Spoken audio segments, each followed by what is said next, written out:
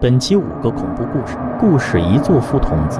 明日相与久违的朋友们视频聊天，他们聊了很多，包括上学时的事，包括工作，包括男人，以及对未来的畅想。总之，他们聊得很是愉快，仿佛回到了当年在一起的时那种气氛。可如今步入社会，每个人都身不由己，即使是短暂的视频聊天，也不得不因为各种琐事暂时暂停。既然如此，但明日香就表示十分钟以后再聊吧。当明日香去拿啤酒的瞬间，缝隙中好似有道视线在盯着他。不过当时的明日香并没有注意到，其实明日香毕业这些年，他出了一本书，上了杂志封面，也拿了一些奖，算是小有成就吧。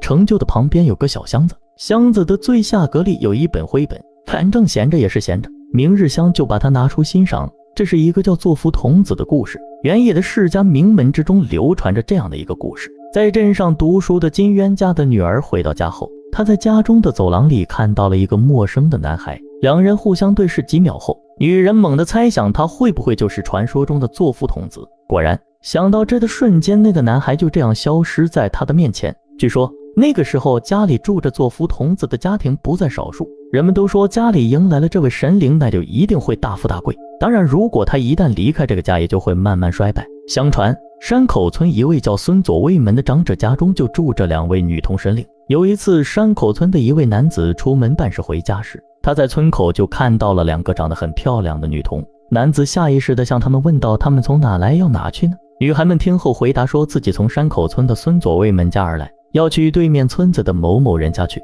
听到这，再看他们怪异的样子，男子猜测他们应该就是孙左卫门家的作福童子。而他们的离去也变相的说明孙左卫门家要垮台了。果不其然，几天后，孙左卫门家的佣人在马棚中发现了一条大蛇。这条大蛇浑身通白，看着就很有灵性。当时孙左卫门得到这个消息，便吩咐佣人们不要杀它，说把它放掉即可。可佣人们阳奉阴违的，还是把它杀了。之后，古怪的事情发生了：大蛇死掉的瞬间，竟然有无数条蛇从各处爬了出来。可这样的行为不但没有吓到佣人们。反而是让他们变得更为兴奋。最后，他们把所有蛇都杀掉了。再后来，孙左卫门家院子里的梨树下长满了许多罕见的蘑菇。孙左卫门知道后，又吩咐佣人们不要吃，除掉即可。但有个佣人不听话，晚上做饭的时候，把这些蘑菇放到桶里和麻干一起搅了搅，就给他们端上桌了。然后，这个家中二十几口人都吃了毒蘑菇。当时孙左卫门不到七岁的女儿在外玩耍没吃到，最后也就只有他自己活了下来。没过多久，孙左卫门一家出事的消息传到了各地的亲戚耳中，他们纷纷前来搬走了孙左卫门家里的所有东西，唯独留下了这个七岁的女孩。至此，孙左卫门家一夜没落。而这个女孩长大后也没有再嫁，选择孤独终老。当她也死掉之后，这个家就彻底绝后了。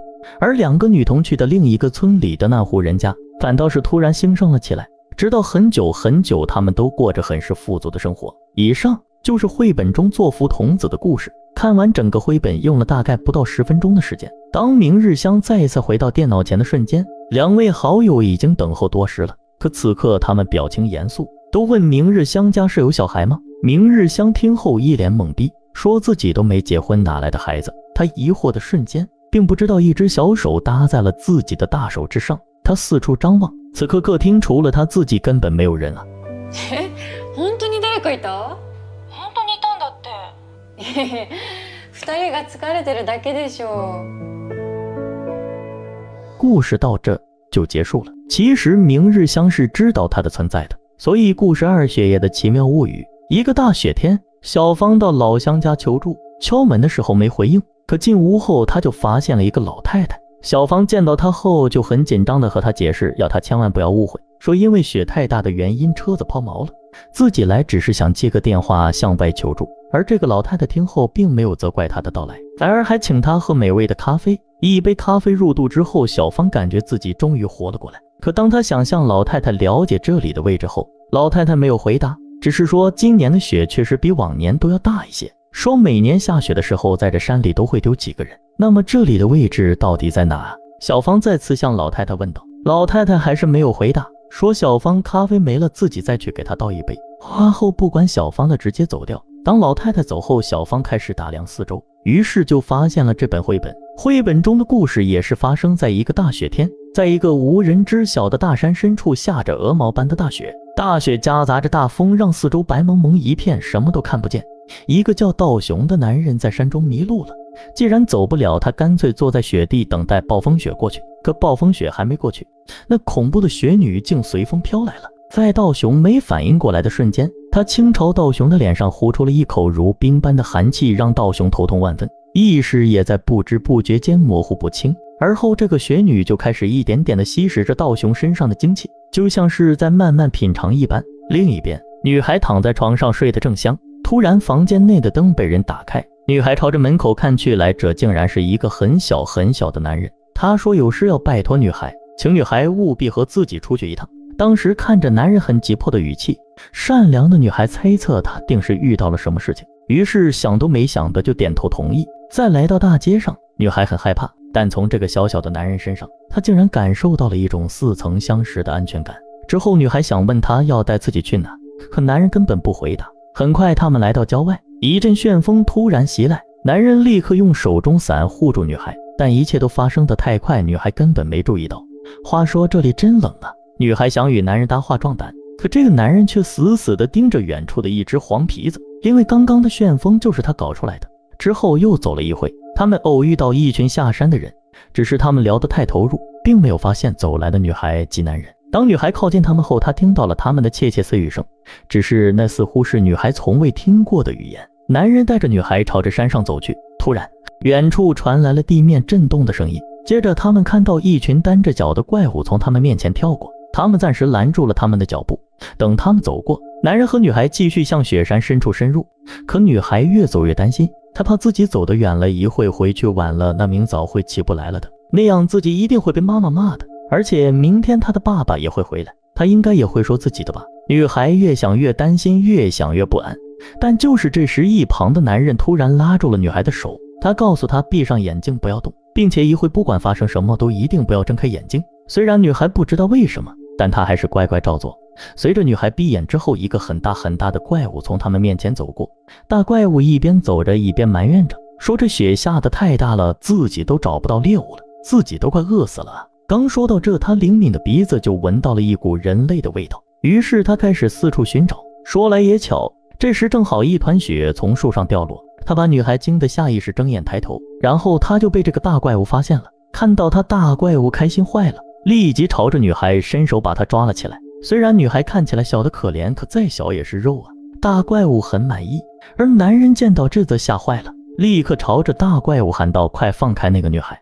不过她长得太小了，声音太小了，即使他用尽全力的嘶吼，大怪物也听不到。眼看着女孩就要命丧大怪物之口，男人则赶紧爬到大怪物身旁的冰树之上，再用尽全身的力气拼命地朝着大怪物挥动手中伞。他一次一次地摇着扇子，片刻之后，他的努力有了效果。大怪物被他扇出一个喷嚏，打喷嚏的瞬间，下意识松手，并把女孩喷得老远，让女孩从这座山一下就飞到了另一座山上。此刻这里有个雪女正在用餐，突然雪女一惊，再想躲已经晚了。女孩从天而降，一下砸到她的腰上，她砸断了雪女的老腰，让她一下就瘫软的倒在雪地之上。很久之后，雪停了，男人找到了她，他把女孩送回了家，而道雄也醒了过来。他有了方向，也慢慢朝着山下走去。第二天，当闹铃响起的那刻，女孩起床了。当女孩去上学的时候，她并没有注意到，此刻就在门边的鞋柜上，这个摆件与昨夜的男人一模一样。在他的身旁还有个女人。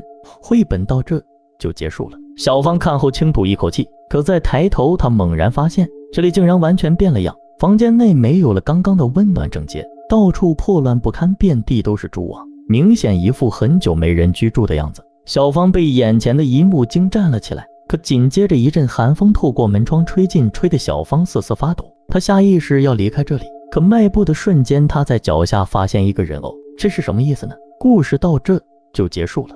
那么故事三来吧，来吧。小香是一家网吧的管理员，这天工作的时候，恍惚间他就听到一个声音在叫他，然后小香随着声音就来到了走廊尽头的最后一间包厢。这里的电脑是开着的，却没有人。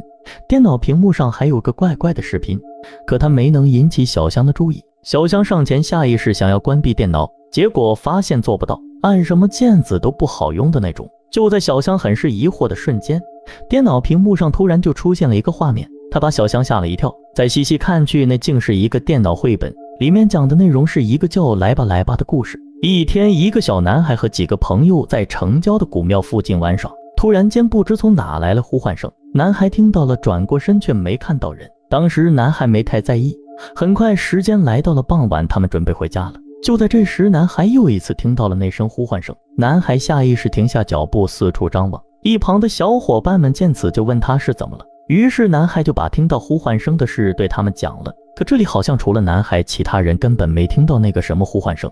之后，男孩便带着忐忑与不安走在回家的路上。可突然，一阵龙卷风从前方袭来，他一下子就刮走了男孩的帽子。同时，也让男孩看到了那个呼唤他的东西。此刻，在那飘扬的尘土、沙砾和落叶的风中，有着一双超大的手，他向前伸出，仿佛在抓什么漂浮的东西。这恐怖的一幕把男孩吓坏了，他当即把自己的所见告诉众人，结果根本没人相信。晚上，当男孩刚躺进被窝，他卧室内北面的窗户就响了。这扇窗户和别的窗户有点不一样，窗户外有一面混凝土墙，墙与窗之间有一条特别狭窄的通道。这条通道刚好能勉强通过一个人。此刻的男孩非常恐惧，他缩在被褥里，小心地向外问道：“是谁？这么晚了，有什么事吗？”随着男孩的声音响起，那敲窗户的声音没了，取而代之的是窗户在被一点点打开。紧接着，一只惨白的手就伸进来，见到这男孩就更怕了。他立刻用被子捂住头，躲在被子里哇哇大叫。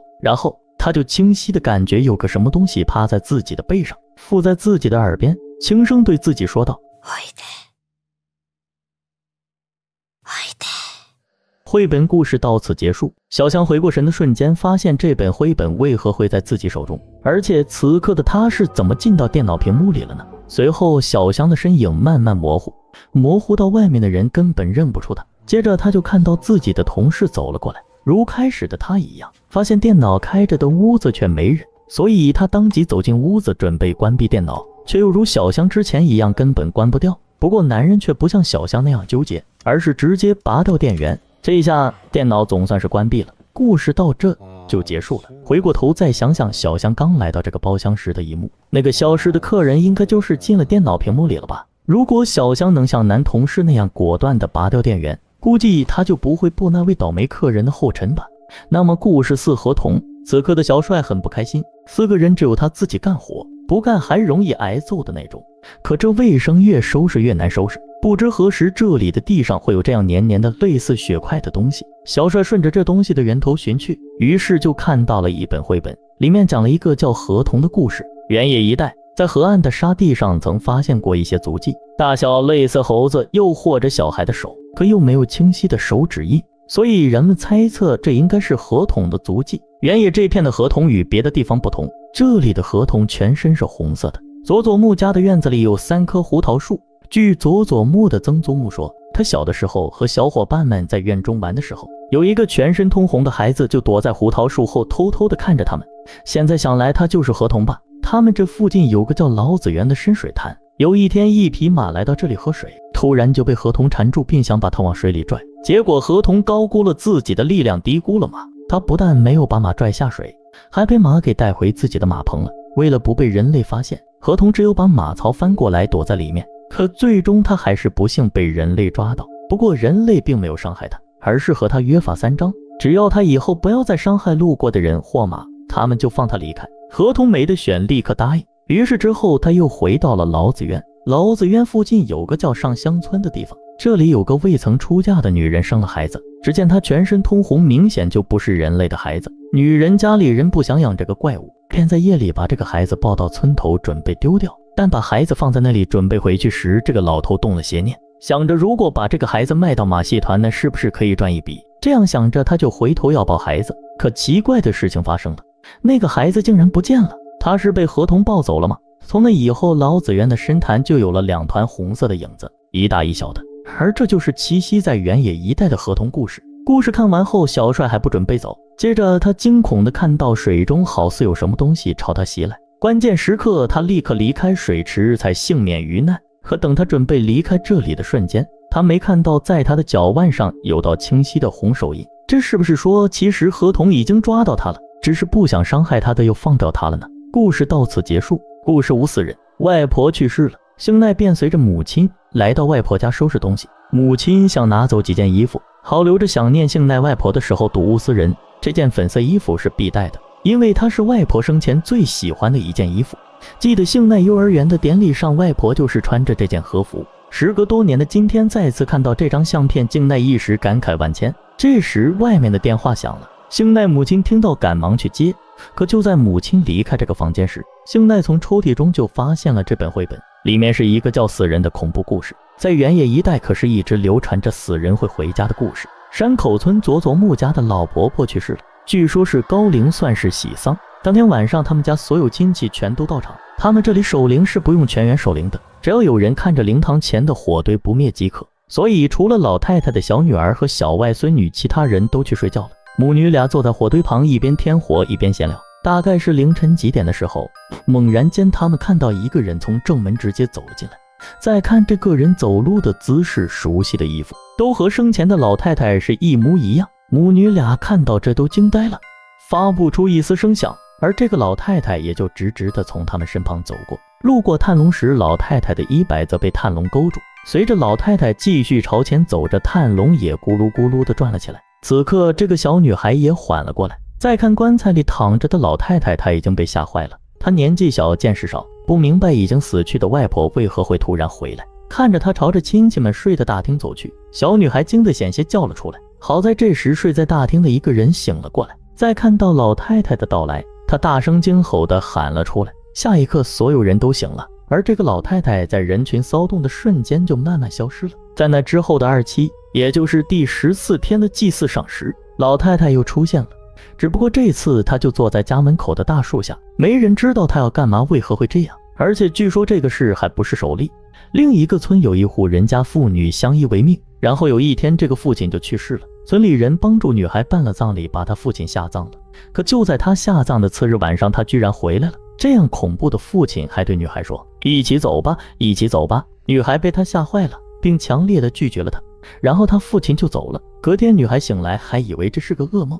可之后的日子，他父亲几乎每晚都来说的也都是同样的话，就要带女孩离开这里。女孩被吓坏了，无奈到朋友家借宿。可这个父亲就仿佛在女儿身上安装了定位一样，每次都能精准的找到她。后来，女孩真的生病了。村里人为了保护她，把所有精壮的小伙子们都聚集到一起，大家拿着刀枪棍棒的就守在女孩家门前。但老头一出现，大家就要干掉他。可最终老头没干掉，女孩还反复被折磨了近一个月才消停。类似的事情在很多地方都发生过。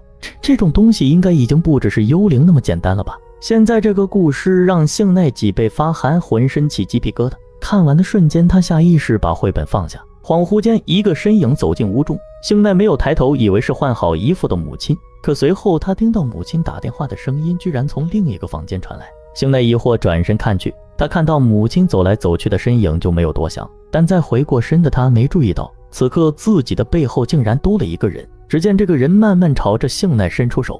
当幸奈终于察觉到，在转身的瞬间，他就看到他死去的姥姥了。